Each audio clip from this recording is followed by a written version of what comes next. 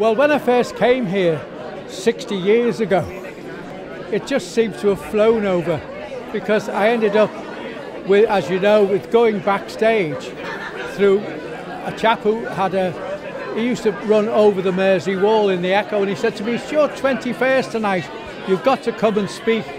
So I ended up playing guitar with Buddy Holly and the Crickets and that was a fantastic experience because it was just out of the blue and uh, the, the guy who did it was over the Mersey Wall, it was called, and he just said, he said, it's just fantastic. He said, I want you to come and meet Buddy Holly. So I did and ended up playing guitar with him. And he said, You're bloody great.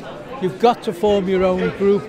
And on his word, at September 1958, I started a group off called The Naturals. And then we became The Escorts. But that was a few years later. And that's when I was with the Beatles.